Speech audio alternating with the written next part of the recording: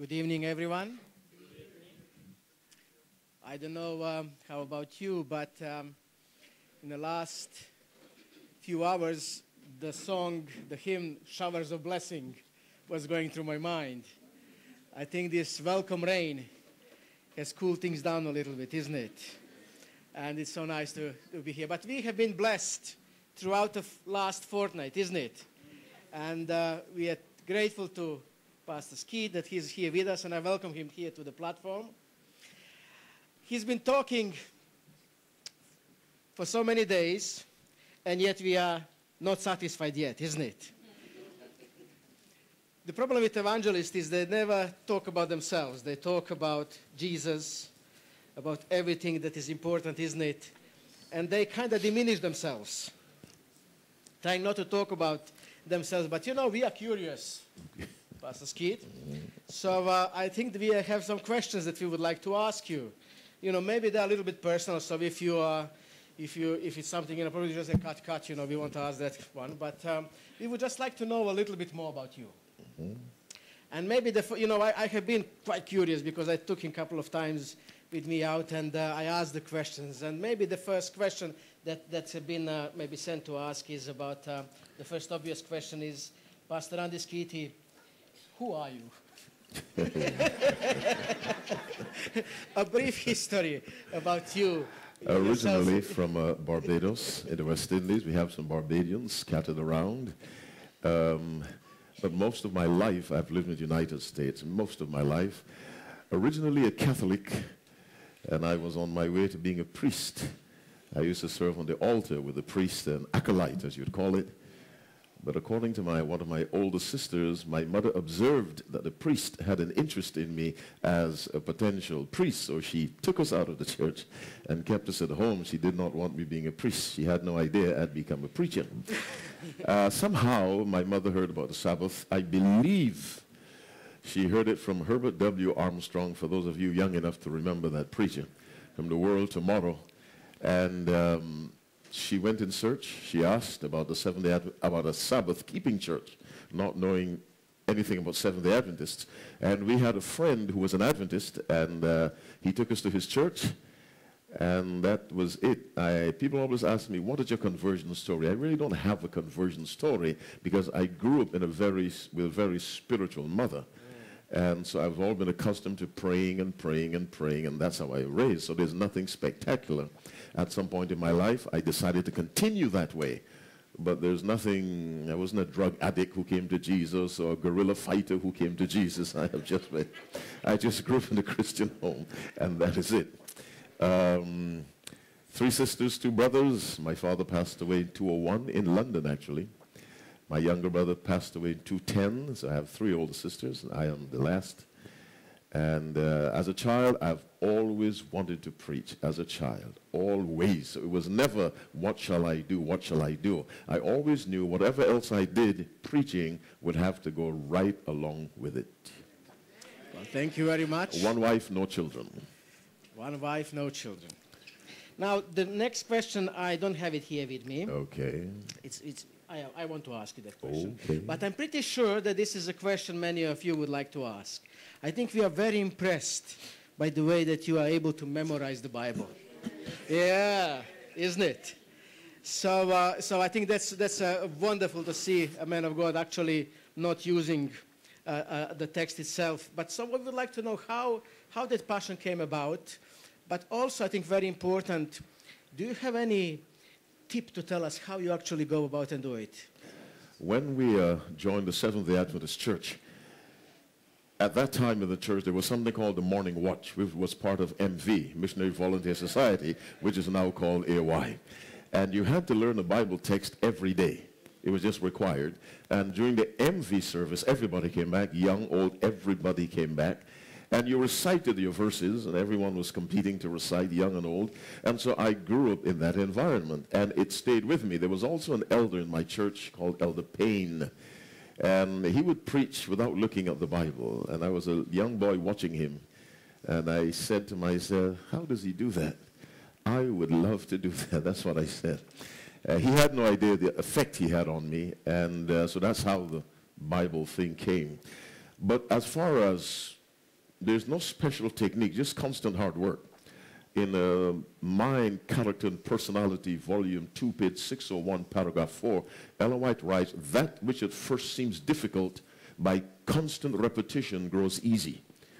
Uh, we call that practice makes perfect. But I've seen that in the memorization of Bible passages. If you do something over and over, there's some verses or some passages people think I could never memorize the genealogy of Matthew or Luke. No, you can. If you stick with it and stick with it. And so I always recommend four things. One, you must have the desire. Many of us do not have the desire. We think it's nice, but not for me. We don't have the desire. Because when you desire something, no one can stop you from getting it. Two, you must have discipline. Discipline means if it rains, I do it. If there's an earthquake, I do it. If I'm dying, I do it. Nothing stops me from doing it every day of the week. That's discipline. The other is determination. I will not give up. Let's say you're trying to memorize John 11:35.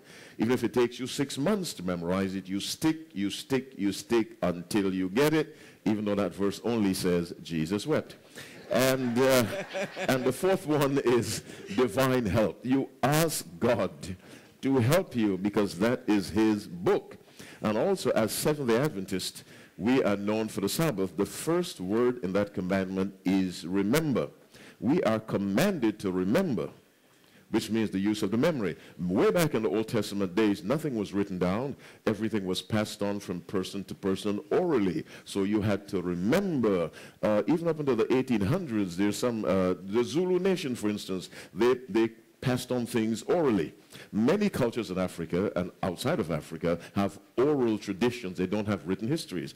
And so when the Bible says remember, it calls upon us to use our memory. And so there's a biblical command to use your memory. And I recommend it because the Bible says, Thy word have I hid in my heart that I might not sin against thee. So try, try, try. And the Lord, I have friends all over the world who've begun to do it. And uh, they are amazed at what God has helped them to do. Thank you. Thank you. We are happy that it's not only no pain, no gain, isn't it? Mm-hmm. Although we started with Elder Payne, uh, how it go, but, mm-hmm. but we know there's much more to it as mm-hmm. well. Um, thank you. Now, there is another question here. It says, when you get to meet our Lord in heaven, mm-hmm. what one thing would you like to ask him or say to him? I don't deserve to be here. Mm-hmm. I just don't deserve to be here. That's what I tell him. Then I thank him. Okay. Mm-hmm. That's fair point, is it? Yeah. Third one, what is Randy Skeete's, what is Randy, Randy Skeete's legacy going to be, or what would you like it to be, especially here for us in Slough? That you develop a love for God's word, just the word of God. You recognize it as God's will for your life and that you start every day, go through the day, and end the day with the Word of God. Your Savior said, Man shall not live by bread alone, but by every word. If you look at the Bible carefully, God created by the Word, He sustains creation by the Word, he sanctifies by the word. He uh, exposes our motives by the word. He casts out demons by the word. He heals by the word. He raises the dead by the word. It is all by God does nothing outside of his word. And so I hope that when I'm gone or long, even before I leave, that some of you would have made a decision to become more personally acquainted with the Word of God. Amen. Now the next question says, like Paul, we know he mentored Timothy and Titus and others. Do you have people you mentor, and what is the importance of mentorship for the continuity of the gospel? Well, the people that write me from all over the world, and young men who write, and I write them back. Uh, mentorship is important because uh, it's like, yes, you said Paul and Silas, you pass on your experience to others because you won't live forever. And uh, so, yes, mentorship is important. Good. Another one. To our audience in the valley, valley of indecision, mm-hmm. whether to accept Christ or not, what would you like to say to those people who are still kind of not sure? You know? Make a decision now. The longer you wait, the less likely you are to make it. So make the decision. Don't wait until you understand everything. That is a trick of the devil. No one will understand everything from the Bible. But do you know enough to say, God wants me to follow him? God wants me. Do you know enough to make that decision? Make it. You know, when Jesus healed the ten lepers, most people whom Jesus healed, he healed them right in his presence. But for the ten lepers in Luke 17, 11 to 19, he said, Go show yourselves to the priests. The Bible says, and it came to pass as they went, they were cleansed as they were going. So they left him still as lepers, but in the act of obedience, they realized they had been cleansed.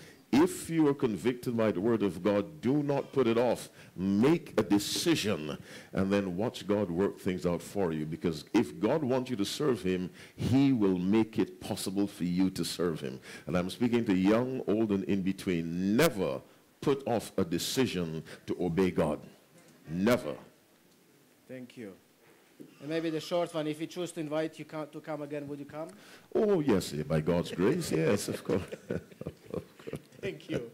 Thank you very much. We were given only 10 minutes, and 10 minutes has passed. And, um, okay. Um, I think um, that we have been really privileged to, to, to see God working, you know, in our, in our midst, in our presence, and we are grateful for that. Before we give a word to Pastor Skeete, shall we bow our heads and pray? The Heavenly Father, our Lord, we want to thank you for everything. We thank you for this uh, respite from the hot weather. We thank you for the, all the good things that we have received in our lives, but especially what we have received in the last 14 days. Lord, please, as we close tomorrow and we continue this evening, let this legacy stay with us. As Pastor has suggested, there are things that we would like to continue to go on in this church and in the community around us. But now, dear Lord, I pray for Pastor Ski that you be with him, that your Holy Spirit pours himself, himself out through him. And Lord, that we may all benefit and that we may all remember, but also practice what we hear in our lives. This we pray, dear Lord, in Jesus' name. Amen. Amen. Amen. Thank you, Pastor. Think not that I am come to destroy the law or the prophets. I am not come to destroy, but to fulfill. For verily I say unto you, till heaven and earth pass, one jot or one tittle shall in no wise pass from the law till all be fulfilled.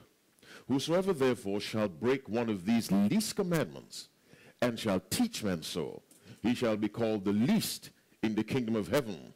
But whosoever shall do and teach them, he shall be called great in the kingdom of heaven. For I say unto you that except your righteousness shall exceed the righteousness of the scribes and Pharisees, ye shall in no case enter into the kingdom of heaven. God is good and all the time.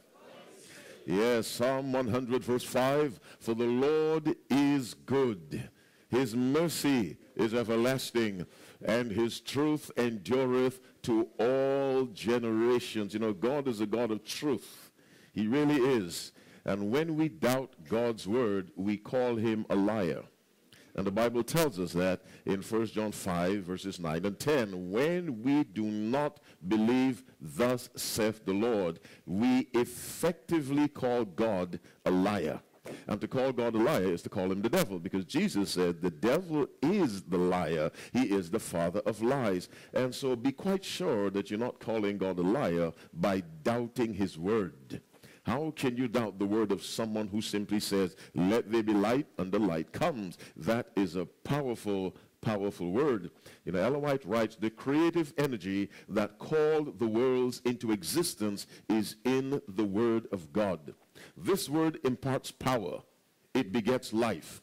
Every command is a promise, accepted by the will, received into the soul. It brings with us the life of the infinite one. It transforms the nature and recreates the soul in the image of God. A tremendous statement that the power that created heaven and earth is right here in God's word. But when the word is believed and obeyed, are you with me?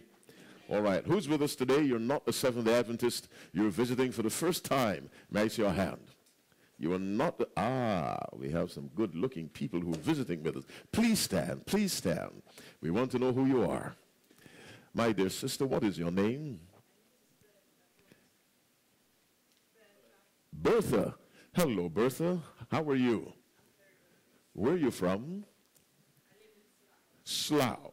Now, where are you from originally? Ghana is a good place. I've been about six or seven times, always, almost always to Kumasi. I hope to go there again. Bertha, who invited you? Your friend invited you. What's your friend's name? Eulili. That's a good name. Bertha, thank you so much for coming. I speak for the entire church. And may the Lord bless your life and make you a blessing to others. Say amen. All right, Sister Bertha. Right behind, ladies first. What's your name? Hmm?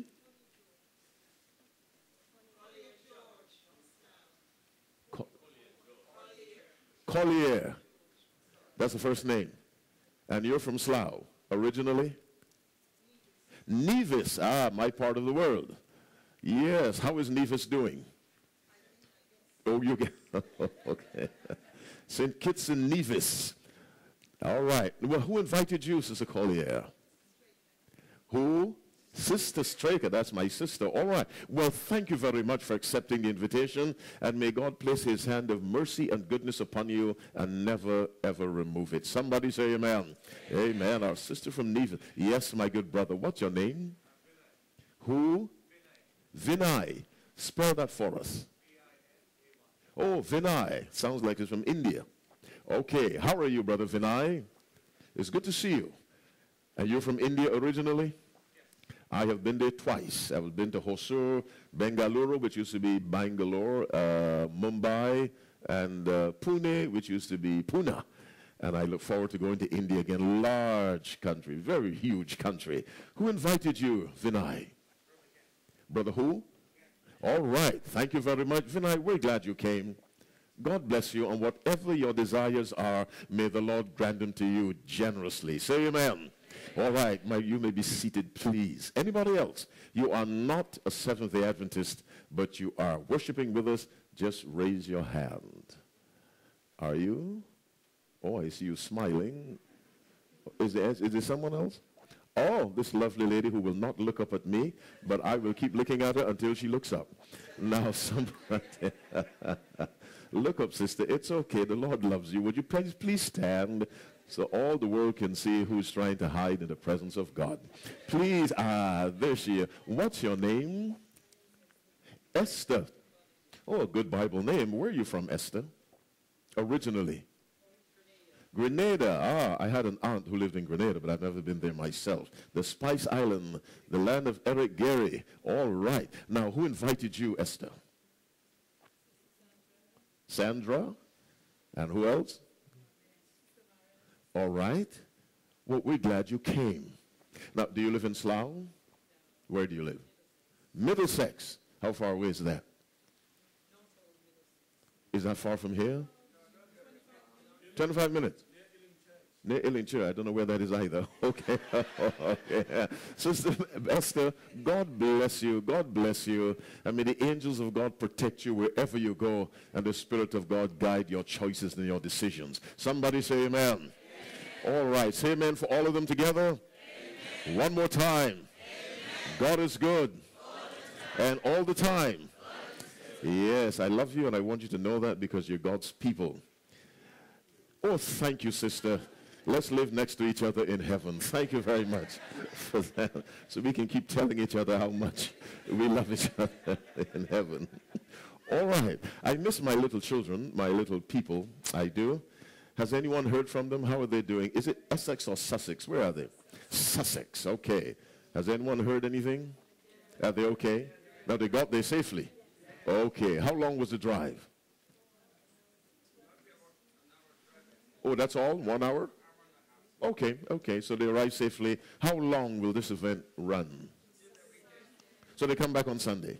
Okay, well, God bless them. I do miss them. I love to see them sitting in the front with their Bibles, taking half an hour to find the books of the Bible. God bless them. All right. Uh, before I begin, I have just today and tomorrow to bother you. You know what this is? Uh, what is that? What do I prefer you to use? A Bible. Where, and God bless those of you who have brought Bibles in cooperation with your guest from across the Atlantic Ocean. Thank you very much.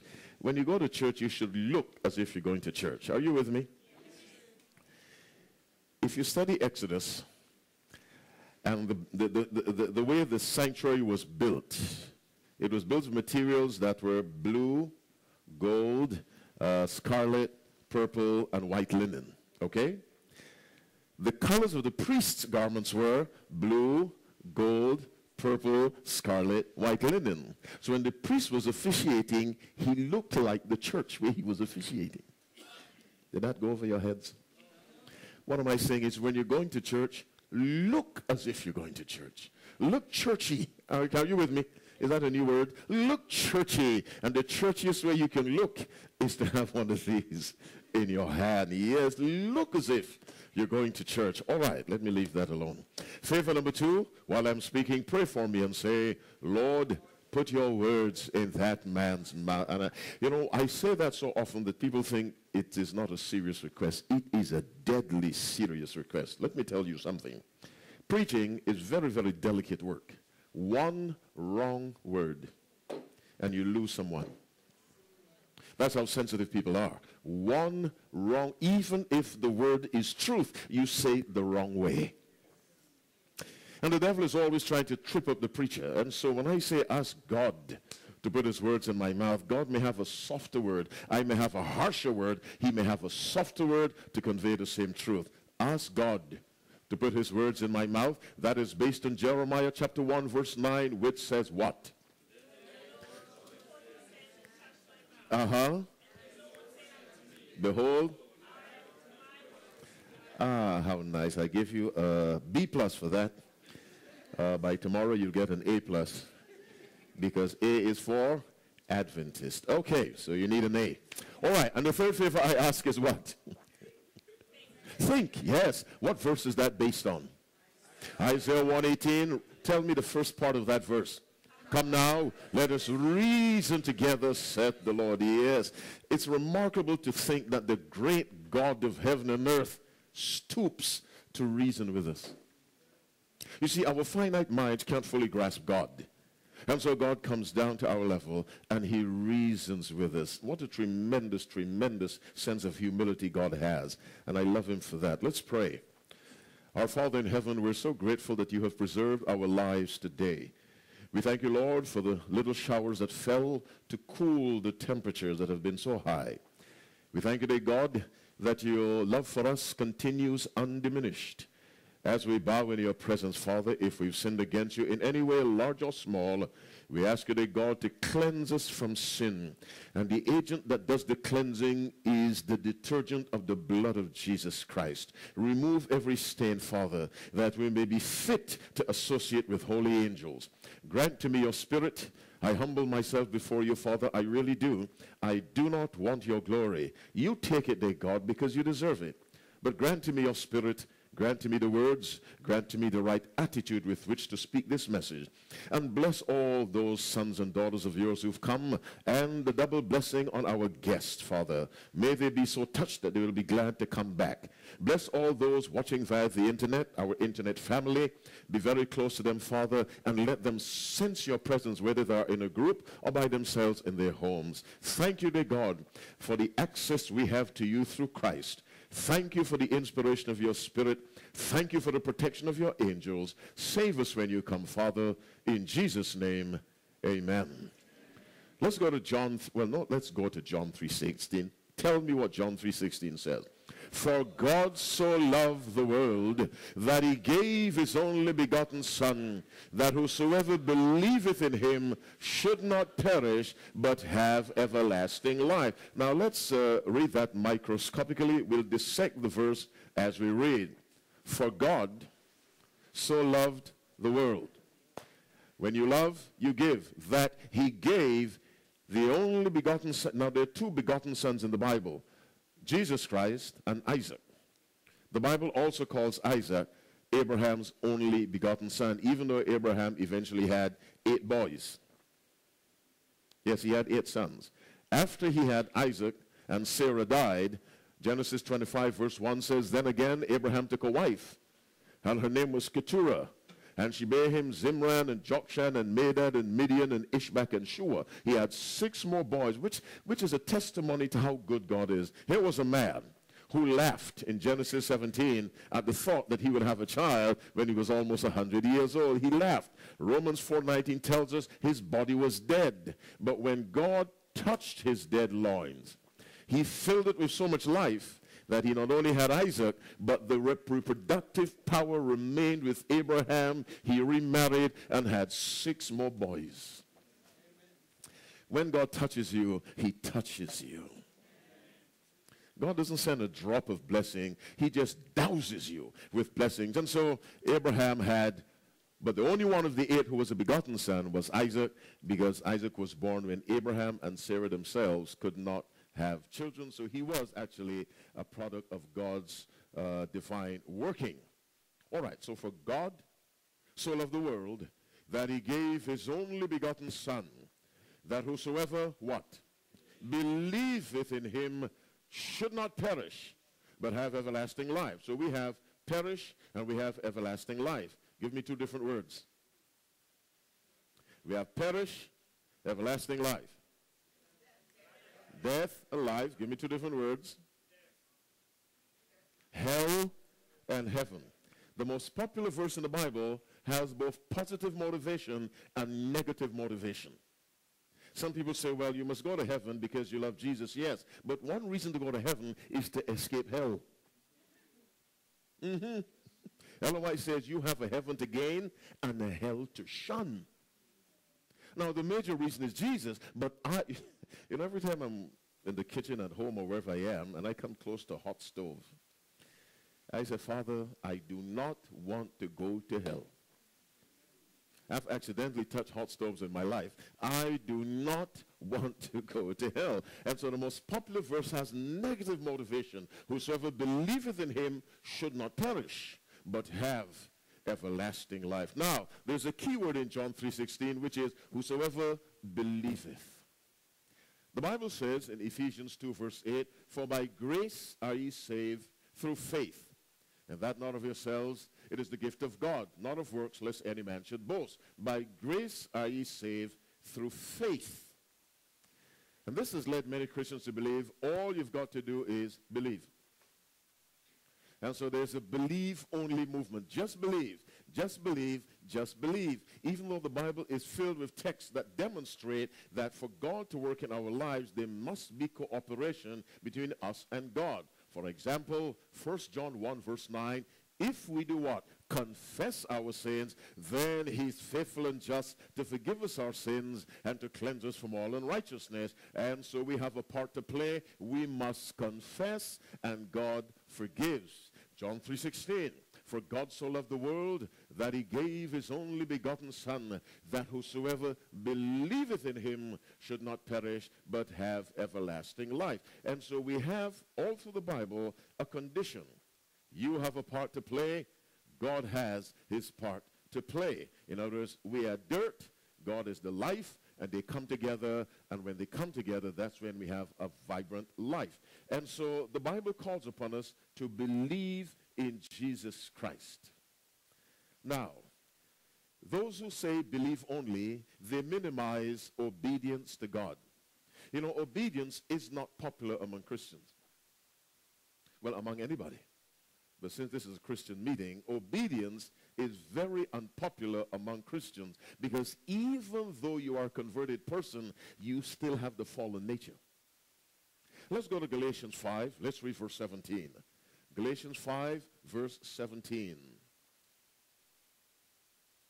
Our subject, the obedience of faith. Galatians 5, 17. Our subject, the obedience of faith. Five minutes to eight. Do you have Galatians 5? Now listen to the struggle the Christian goes through, a converted person goes through. Read with me. For the flesh lusteth against the spirit, and the spirit against the flesh, and these are contrary one to the other, so that ye cannot do the things ye would. Paul is saying, for the believer, there's a constant struggle. You see, when the Bible says that the old man is crucified, it does not mean your old nature is killed. It means it is no longer in control. Its reign, its control is what is crucified. But the old nature will always be with us until this mortal does what? Puts on immortality. That's when it shall be removed. All right. So we will always have this struggle to serve God or to yield to the enemy, serve God or yield to the enemy. The subject is the obedience of faith. And the question is, should we obey? Is there a role for obedience in the life of the child of God? And the Bible's answer is yes. Let's get right to the point. Let us go to uh, John 6. We'll read from verse 25. In this chapter, Jesus feeds 5,000 plus people with five loaves and two fishes. And I believe I've told you before, it is the only miracle of Christ that is found in all four Gospels. The feeding of the 5,000. Matthew chapter 14 is found there, Mark chapter 6, uh, Luke chapter 9, and John chapter 6. You find the feeding of the 5,000, and they all give different items of information. So when you study all four, you can really build a picture of what really happened. Now, Jesus has fed the 5,000, and he takes a boat, goes over the lake. But people know a good thing when they see it, and so they follow him. In verse 25 of John 5, the Bible says, And when they had found him on the other side of the sea, they said unto him, Rabbi, whence camest thou hither? Jesus answered them and said, Verily, verily, I say unto you, ye seek me not because ye saw the miracles, but because ye did eat of the loaves and were filled. Now, this is a very, this is a strong condemnation. Jesus said, You're following me for what you can get out of me. You know, many people join churches for that reason. The church will help me, help me with my rent. The church will help me buy food. The church will help me with my children. I can get a husband if I go to that church or a wife. The church will help me. The church will do these material things for me because they're nice people. And so people join the church for what the church can provide for them at the material level.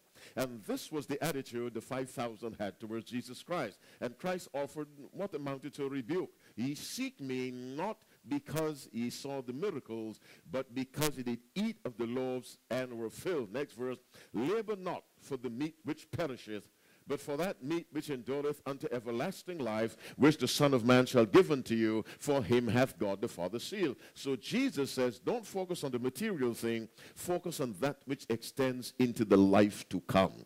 Now, let's read verse 28 together. What does that say? Then said they unto him, What shall we do that we might work the works of God? They say, What is it God wants us to do? Very good question. And you must always ask that question. For God so loved the world. Many people run into trouble with the Bible because they take one text and they build a church on one text.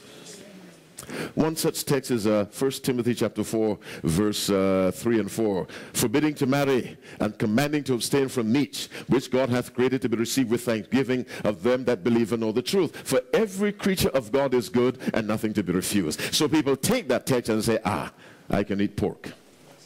I can eat lizards. I can eat whatever. Snakes. No, no, no. When you study the Bible comprehensively, you realize that verse is not saying that. You cannot take one verse and say, the Bible says. You may say, that verse seems to say, but to say what the Bible says, you've got to take from here, from there, a little over here, a little over there. You bring it together, and then you have some idea of what the Bible says. Now, obedience is the condition of salvation. Let's see that said elsewhere in the Bible. Go to Revelation 22, the last chapter of the Bible. Revelation 22, our subject, the obedience of faith. And we'll read verse 14. It's 5 after 8. Revelation 22, reading verse 14. When you found that, say amen. Read, read with me. What does it say? Blessed are they that do his commandments, that they may have right to the tree of life and may enter in through the gates into the city. Question for you. How did we lose the right to the tree of life? The disobedience of Adam. How do we get it back? Obedience through, of course, the power of Jesus Christ. And so here's another verse that presents obedience as the foundation foundation or the condition of salvation. Now, Let us go to uh, Deuteronomy 6. Deuteronomy 6. Deuteronomy 6. Now, before I tell you what verse to read, I, will, I, I want you to read 2 Peter 3.13. Now, don't use Deuteronomy 6. Don't lose it. Keep one finger on it. You have nine fingers left. Find 2 Peter 3.13. When you found 2 Peter, let me know. We'll read that, but don't lose Deuteronomy 6. You have 2 Peter 3.13? Read with me. Nevertheless, we, according to his promise, look for new heavens, come on, and new earth, wherein dwelleth righteousness. Now, what are we looking for? A new heaven, a new earth. What do we find in both? Righteousness. What's the lifestyle in heaven? Righteousness. What should be the lifestyle among us? Righteousness. What will be the lifestyle in the new world? Righteousness. Now let's take a look at righteousness. Go to Deuteronomy 6. Let's see what we ought to do to prepare to live in a world where everything is righteous, which is a difficult place for a sinner to live. He'd ask to be killed. Deuteronomy 6, verse 25. Are you there? Let me pray. Father, as I continue with this message, please, God, remember Put your words in my mouth and your spirit in my heart. In Jesus' name I pray. Amen. Read that verse for me. What does it say? And it shall be our righteousness, come on, if we observe to do, come on, all these commandments before the Lord our God as he hath commanded us. Now, what do you notice about that verse defines righteousness? What is righteousness? Obedience to God's commands. Mm-hmm. Mm-hmm. Go to Isaiah 51. Isaiah 51.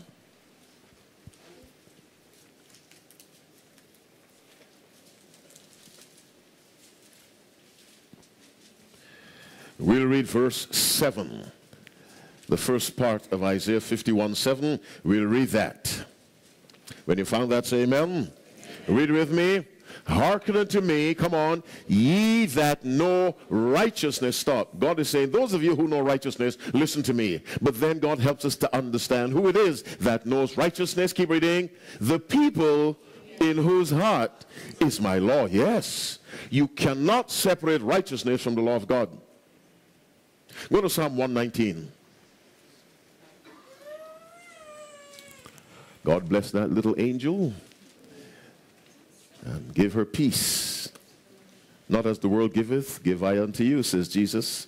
The world has one kind of peace, God gives you another kind. Psalm 119, verse 142.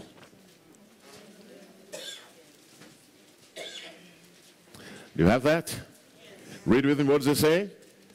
Thy righteousness is an everlasting righteousness, and thy is the truth. All right, read verse 4, 144 now the righteousness of thy testimonies is everlasting. Now, what are the testimonies?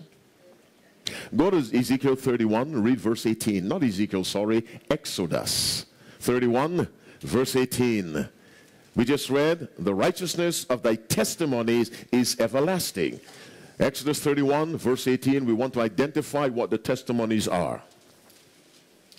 Exodus 31, verse 18, read with me. And he gave unto Moses, when he had made an end of communing with him upon Mount Sinai, two tables of testimony, tables of stone written with the finger of God. What are the testimonies that are righteousness? The law of God. Go to Exodus 25. God has given Moses instructions for the building of the ark, that box that contained the Ten Commandments.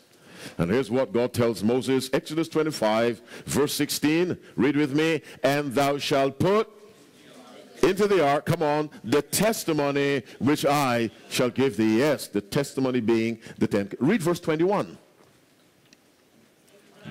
Thou shalt put the mercy seat above upon the ark, and in the ark thou shalt put what? The testimony that I shall give thee. The testimony refers to the Ten Commandments. Now, you listen to Psalm 119, verse 144 again. The righteousness of thy testimonies is everlasting. Now, read verse 172 of Psalm 119 verse 172 of Psalm 119.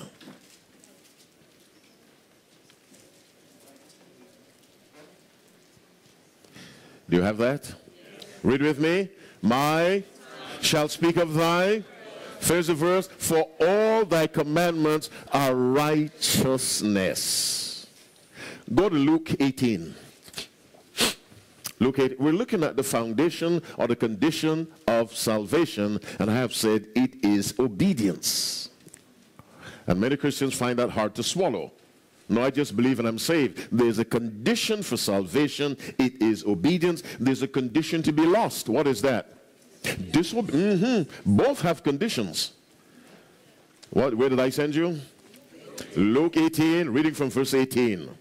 When you found that, say amen. Read with me. And a certain lawyer asked, a certain ruler asked him, saying, Good master, what shall I do to what? Inherit eternal life. Now, he didn't say, What shall I do to save myself? He said, What shall I do to inherit? And when you inherit, you get something from somebody else. Are you following me? What shall I do to inherit? How can I get eternal life from God? So he isn't saying, How can I save myself? What shall I do to inherit eternal life? Listen to Jesus. Jesus said unto him, Why callest thou me good? None is good save one, that is God. Keep reading. Thou knowest the commandments. Thou, what, what is Jesus saying? You want eternal life? What is he telling him? That's how you live. Mm-hmm, that's how you live. And in Luke chapter 10, when the lawyer asked Jesus, which is the first commandment, and Jesus told him, he's, and Jesus said, What have you read? What is written in the law? He said, Love your God and love your neighbor. Christ said, This do, and thou shalt live. The condition of salvation is, but the obedience is by the power of Christ. Are you with me? Let me say it again. Well, let the Bible be more effective. Go to John 14. John 14, let's read from verse 9 and see how the power to obey works in us. Because we will see how it worked in Jesus. John 14, reading from verse 9. when you found that, say amen. amen. Read with me. Jesus saith unto him, Have I been so long time with you, and yet hast thou not known me, Philip? He that hath seen me hath seen the Father. And how sayest thou then, Show us the Father? Keep reading. Believest thou not that I am in the Father, and the Father in me? Carefully now. The words that I speak unto you, I speak not of myself. Keep going. But the Father that dwelleth in me, he doeth the works. Now, Jesus is saying, the Father dwelt in him. Don't ask me how. And worked through Jesus. Now listen to Paul. You know this verse without looking. I am crucified with Christ. Nevertheless, I live. Yet not I, but Christ liveth in me. So the way it worked for Jesus is the way it works for us. The Father worked through Jesus, and Jesus works through us. And so obedience is the condition of salvation, but the power to obey is the presence of Christ in us. Now, let's go to 1 Corinthians 5. Put on your thinking caps. 1 Corinthians 5. I'm going past 8.30, let me tell you early. How many of you have to go to work right after the service? Okay, all right, okay. 1 Corinthians 5, let's read from verse 7. Give you a couple seconds to find it. Are you there now? All right, read with me. Purge out therefore the old leaven, that ye may be a new lump, as ye are unleavened. Finish the verse now. For even as Christ, our Passover, is sacrificed for us. Now, what does Paul refer to Christ as? Our Passover. And what was, what was done to the Passover? It was sacrificed. What was Paul referring to? Christ's sacrifice on the cross, yes. He calls it the Passover. Now, there was an Old Testament ceremony called the Passover, which pointed to that event. So the Passover symbolized Christ giving his life on Calvary's cross. Are you with me? Okay. And we know the cross is the very foundation of the plan of salvation. Now, let us go and take a look at the Passover. What's our subject? The obedience of faith. And what have I been saying all night? What have I been saying all night? The condition of salvation is obedience. All right. It's a concept most Christians don't like, but the Bible will fix that. Exodus 12, let's read from verse 1. Exodus 12, reading from verse 1. This is where we are introduced to the Passover feast, which symbolized the death of Christ on Calvary's cross. You know, Paul said, I determined, determined to know nothing among you but Jesus Christ and Him crucified. The central event, that cross event, as the theologians call it. Now we're looking at it as it was symbolized in the Old Testament. Exodus 12, reading from verse 1, read with me. And the Lord spake unto Moses and Aaron in the land of Egypt, saying, This month shall be unto you the beginning of months. It shall be the first month of the year to you. Now, what he's saying is the month when they came out of Egypt, God said that month will be the first month of your religious year. Okay? So that was the month Abib or Nisan. Verse 3 Speak ye unto what? All the congregation of Israel, saying, In the tenth day of this month they shall take them every man lamb according to the house of their fathers, a lamb for an house. Verse 4 And if the household be too little for the lamb, let him and his neighbor next unto his house take it according to the number of the souls. Keep reading. Every man according to his eating shall make your count for the lamb. What details do we have so far based on those four verses? What details do we have? well, on the 10th day, what happens? Verse 3 on the 10th day, you choose the lamb. Okay? Every household should choose a lamb. Mm-hmm. Any other details you see there? Say it again. Or a lamb for a house, yes. All right, let's read on some, get some more details. Go to verse 5. Your lamb shall be without blemish, a male of the first year, ye shall take it out from the sheep or from the goats. Okay, so we have take it on the 10th day, but the 10th day of which month? The first month. Okay, so we have two details. Now we go to verse 5. It must be what? A male, that's the third detail, of the first year. It must be without blemish. And you shall take it out from the sheep or the goat. So we have all these details so far. Verse 6, read with me and you shall keep it up until the what? 14th day of this same month. And so you choose it on the 10th day you kill it on the 14th day. It must be a male first year without blemish one for a house. Okay now we go to verse uh, finish verse 6 and the whole assembly of the congregation of israel shall do what? Kill it in the evening. Now let's go give me some details now.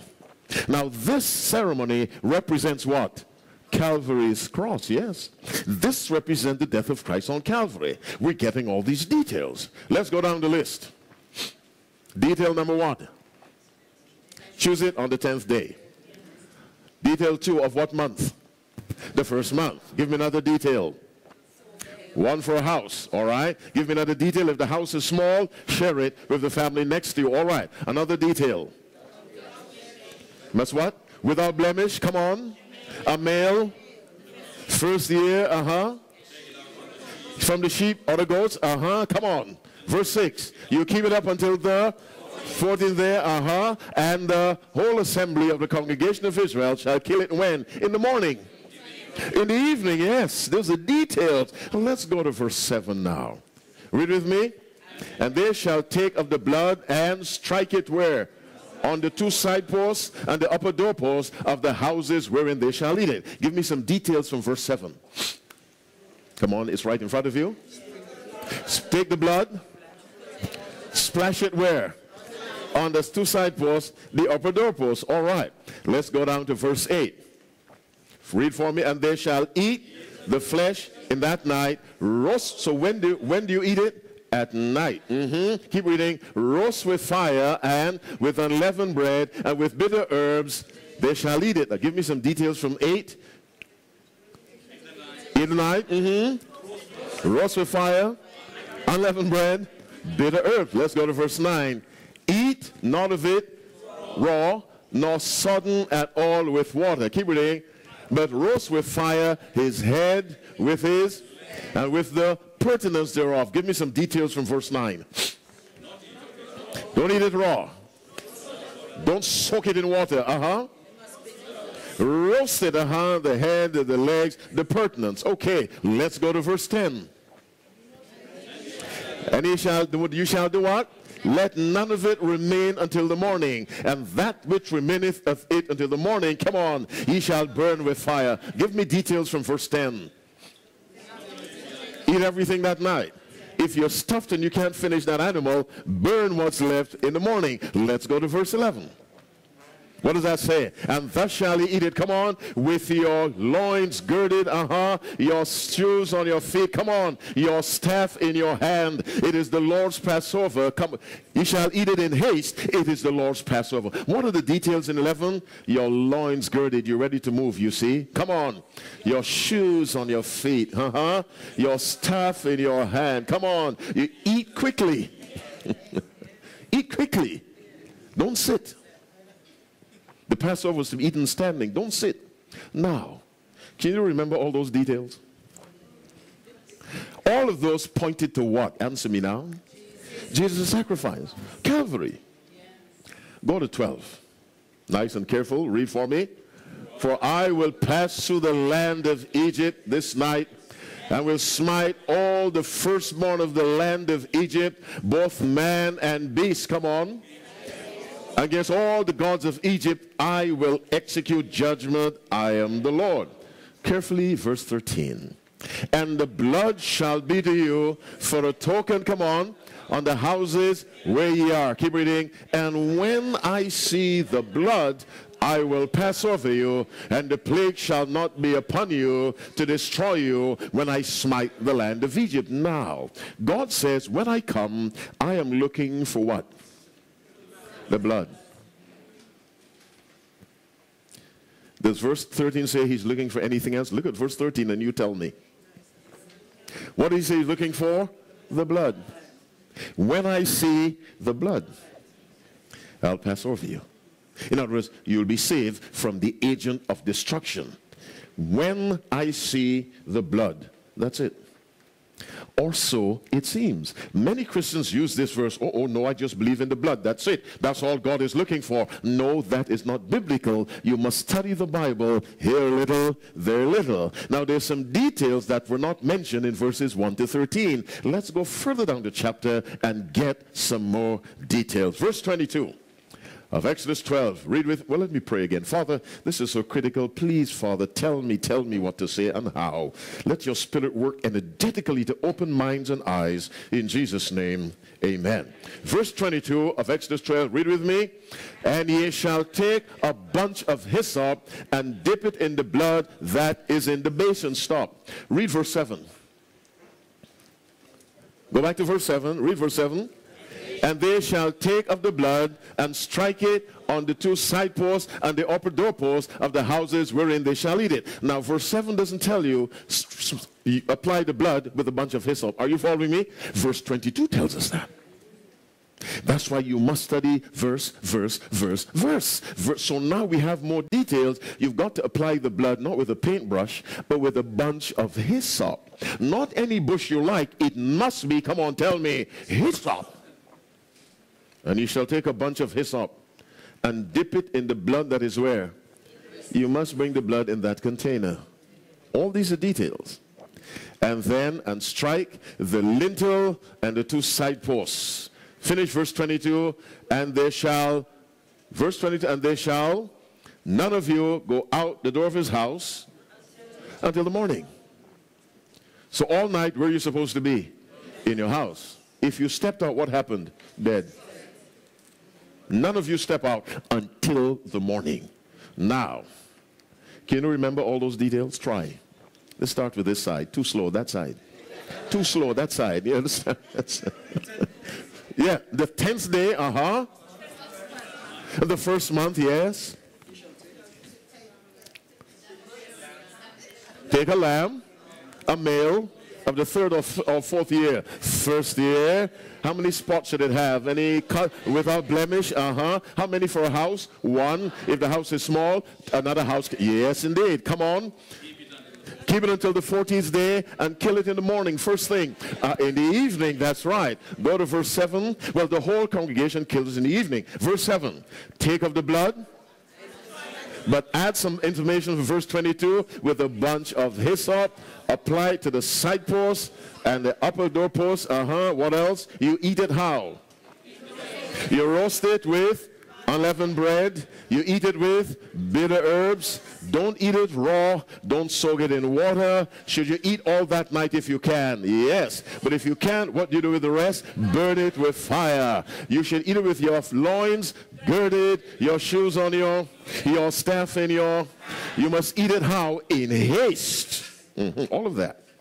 Now, Listen to verse 20. Now, let's read verse 13. Then we'll go to verse 23. Listen to verse 13. Read with me. And when I see, and the blood shall be unto you for a token on the houses where ye are. Now the blood is a token. And when, come on, I see the blood, I will pass over you. Stop. Let's go to verse 23 now. What's our subject? The obedience of faith. Read verse 23 carefully. Read it for me. For the Lord shall pass through to smite the Egyptians. Come on. And when he seeth the blood, stop. Did we read that in verse 13 when I see the blood? Yes, same thing. But keep reading. When he seeth the blood, ah, where? On the two side posts and the upper doorpost. Because that's where he said to put it. Not just when I see the blood. You may get that impression from verse 13. But when you add 23, you realize, I want to see the blood where I said to put it. What is that? Obedience. Now, if God came by and the blood was only on the doorknob, what would the destroying angel do? He would pass through that house. Are you not listening to me? I'm talking to myself. God said, I want to see that blood where I said to put it, on the two side posts and the upper door post. If the blood is not there, my destroying angel is coming into that house. So it's not just the blood. Now, if God was so specific about where the blood should be, what can you deduce from that? What did God want to see? Uh, in how many areas of details? All of them. Mm-hmm. You see, God was looking. He had to see that the animal was chosen on the 10th day. So when the Bible says, when I see the blood, what it really means is, when I see that you did what I said and chose the animal on the 10th day, when I see that you chose a male of the first year in obedience to me, when I see that you chose one without blemish, when I see there was one for household or you share if the household was small, when I see you kept it up until the sixth day and you killed it in the evening on that day, when I see that you put the blood on the upper doorpost and the two side posts, when I see that you it with, uh, you roasted it with unleavened bread and with bitter herbs, when I see that you did not eat it raw, nor soak it in water, when I see that you uh, had your loins girded, your shoes on your feet, your staff in your hand, when I see that you ate it in haste, when I see that whatever was left you burned in the morning, when I see all of that, the angel will pass over your house. Now you give me one word for all of that. Obedience. Obedience. And what does, Cal- what does Passover represent? Calvary sacrifice. God says, when I see you have done what I said, I'll pass over you. Listen to me. Obedience, finish my words, is the condition, come on, of salvation. Do what I say, says God. And the power to do it, I'll give it to you. Because you cannot obey a divine command with human power. And so when I say obey, I always mean by the power of Christ. My brothers and my sisters, there's no such thing as only believe and just go to sleep and expect to wake up in heaven. You'll be the most surprised dead man you ever saw.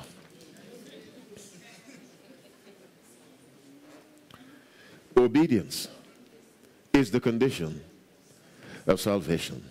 Go to Genesis 2. Genesis 2. It's uh, 29 after 8. Give me 10 minutes. Genesis 2. Let's read verse 16, 17, well known passage. I know you know it. Genesis 2, 16, 17. Read with me. What does it say? And the Lord God commanded the man, saying, Of every tree of the garden thou mayest freely eat.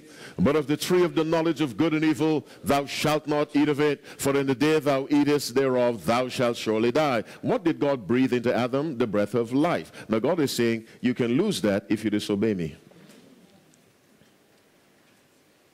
Now, Adam did not ask God to make him. Are you with me?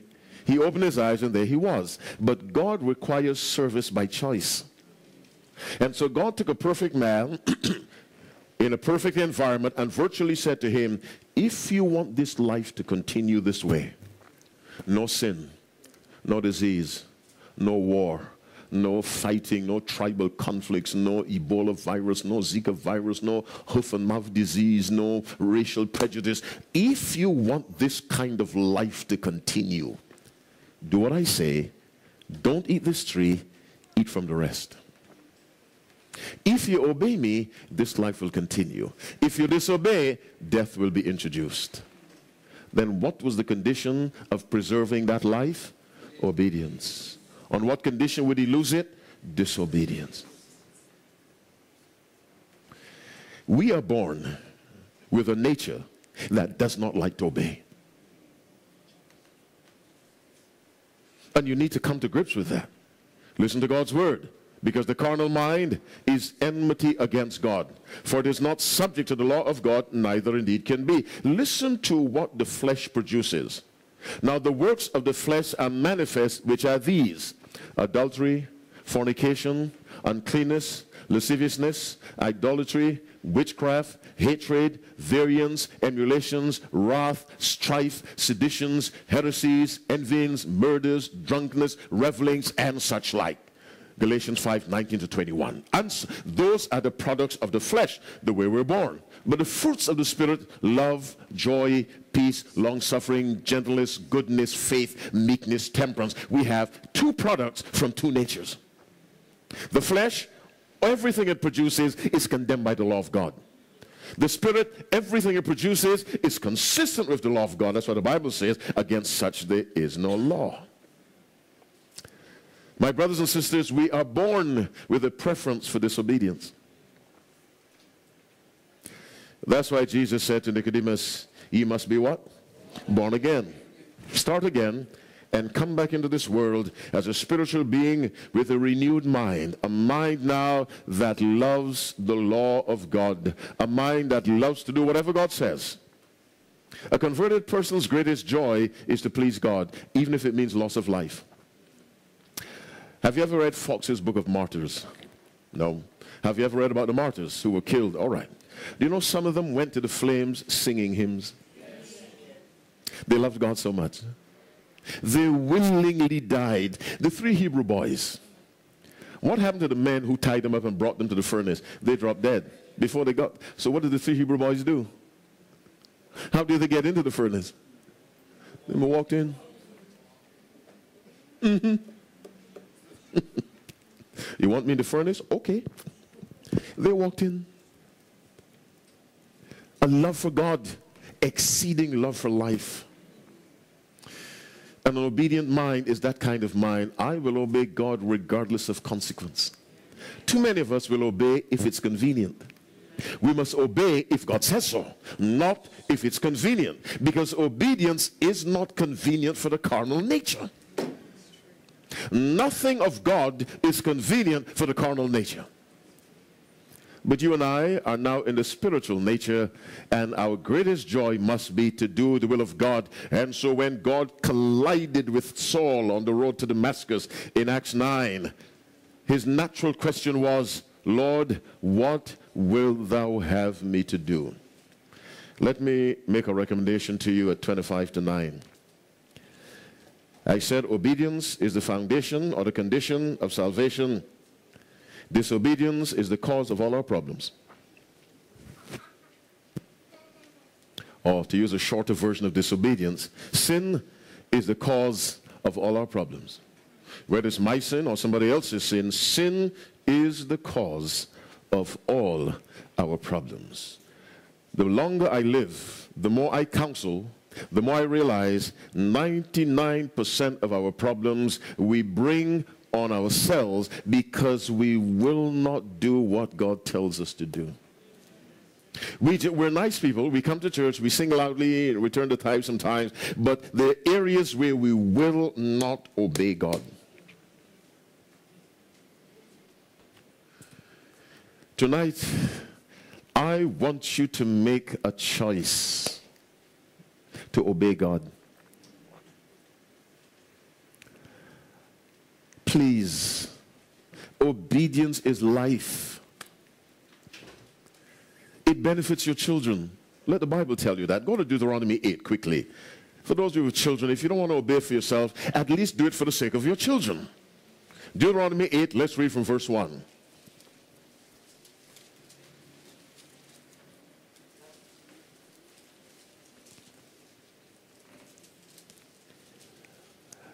Do you have Deuteronomy 8? Read from verse 1. What does that say? All the commandments that I command you this day shall ye observe to do that ye may live and what does multiply mean?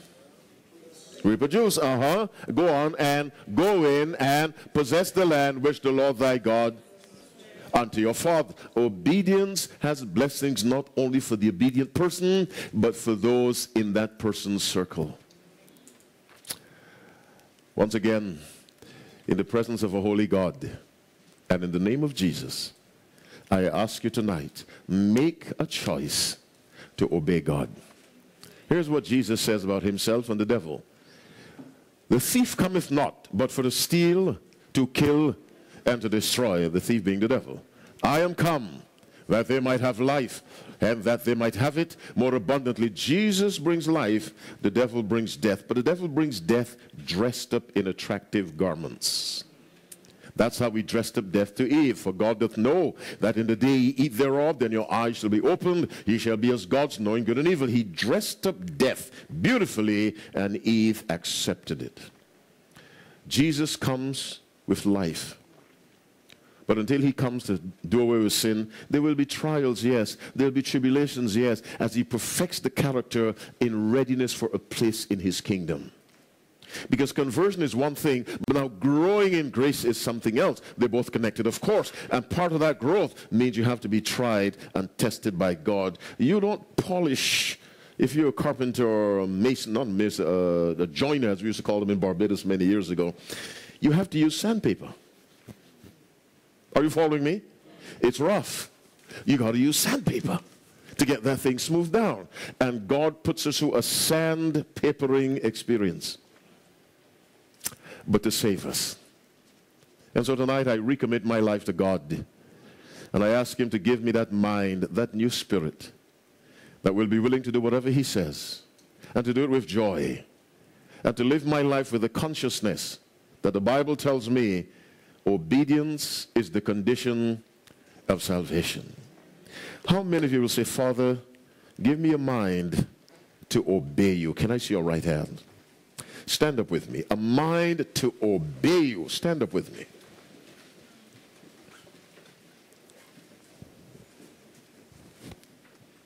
Someone else needs to make a decision to be baptized. Question for you. Does Jesus want you baptized? Yes or no? Yes. If you already are, fine. If you're not, he wants you baptized. There's a hand. We would, we, okay. Jesus wants you baptized. God the Father wants you baptized. The Holy Ghost wants you baptized. Why? Baptize them in the name of the Father, the Son, and of the Holy Ghost. Is there someone who still needs to make a decision to be baptized or rebaptized because of the life you may have lived, may I see your hand? You still need, ah, God bless you. My lovely, God bless you. I see your hand. God bless you. Can I get a piece of paper, please? Two daughters of God. Someone else, raise your hand. You really need to make a decision to be baptized. Just raise your hand. Obey God. It really is the safest life to live. And God will give you the power to obey Him. The call was Father, give me the mind to obey you. That's why you stood. My call is now, is this someone who still needs to make a decision to be baptized? The question is, who? Just raise your hand. I'll give you 60 seconds. Is that a hand? Okay, 60 seconds. 50 seconds now. A decision to be baptized in obedience to God and His will for your life. 40 seconds. Father, here's my decision to be baptized. I'm convicted that's what you want for me, and I want to obey you from my heart. 30 seconds. A decision to be baptized or rebaptized as you look at your life. There has been no growth for decades. You've been the same person. You need to start all over again and walk with your God. 20 seconds. A decision for baptism or rebaptism. Just raise your hand. 10 seconds. Then I'll pray. Decision for baptism, rebaptism we stood to say, Lord, give me a mind to obey you. No disobedient person will be admitted into God's kingdom. Not one. Father in heaven, in the name of Jesus Christ, dear God, I come to you to present to you those for whom your Son shed his blood. As your sons and your daughters bow in your presence, Father, look upon us with mercy, with compassion, and with fatherly tenderness. Father, I believe there's still perhaps one, maybe there are two, still struggling with the decision whether to be baptized or rebaptized. And Father, I know you understand we're dirt, we're weak, we're uncertain. Your word says in Psalm 103, verse 14, For he knoweth our frame. He remembereth that we're dust, and dust is uncertain. Dust weakens, dust is nervous, dust panics. And you understand all of that, Father. But having said that, dear God, I ask you to rise above the panic of human nature and give to those persons the assurance that you will lead them by the hand. And so, Father, I pause one more time and I ask again, is this someone who still needs to make a decision to be baptized or rebaptized? Raise your hand now. I'll give you 30 seconds. Then I finish the prayer. Raise your hand now. You need to make a decision to be baptized or rebaptized. Raise your hand. 25 seconds. Then I will pray and close the appeal. The call is for baptism, rebaptism, if you are so convicted, not just because I call, I am not God. If the Spirit has been convicting you, maybe before these meetings began, you were under conviction by the Spirit. 15 seconds. Then make that decision now. A decision is a powerful thing. Once you make it, you feel strong regarding that decision. 10 seconds. A decision for baptism or rebaptism. And then I'll close the prayer. Father in heaven, thanks for the work of your Spirit.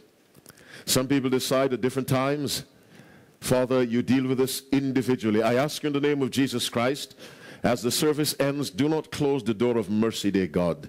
Let your spirit continue to rustle. Yes, we know that you told the antediluvians in Genesis 6 3, My spirit shall not always strive with man. But Father, we want to believe that you're still striving with us who may be resisting. So, Father, give us the assurance of that extended mercy, dear God. But let us not abuse it because there will come an end, a limit to that mercy. Let the words we heard tonight remain on our hearts, dear God. Let us leave this place realizing the condition of salvation salvation is obedience. Oh, Father, change our minds. Give us a love for doing whatever you say because you've made it so clear. If you love me, obey me. And that's the only way we show love. So, Father, bless every man, every woman, every boy, every girl. Bring us back tomorrow, dear Father, for a high day of service and worship tomorrow. Remember our little ones in Sussex at that camp meeting. Bless them, protect them, dear God, and bring them back safely on Sunday. in Jesus' name we pray. Let God's people say, Amen and amen. Our closing hymn is our theme song. Let's remain standing.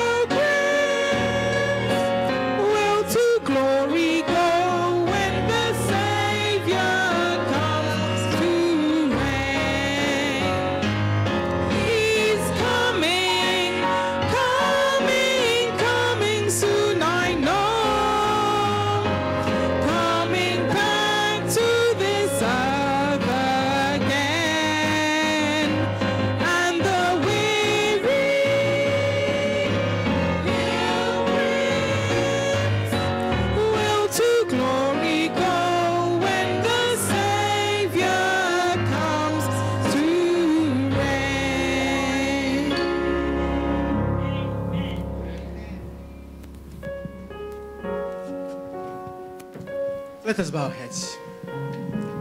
Dear Heavenly Father, as we enter into your Sabbath day as well, as the peace descends upon us, we have been comforted, but we've also given instructions how to come into a closer relationship with you.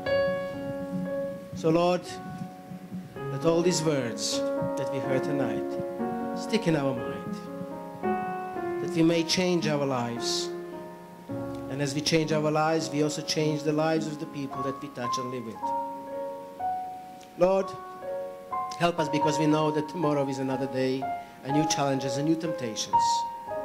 We want to remain as close as we are right now. But we cannot do it on our own. We need your Holy Spirit for that. So, Lord, be with us. And as you dismiss us safely back to our homes, keep us safe on the road.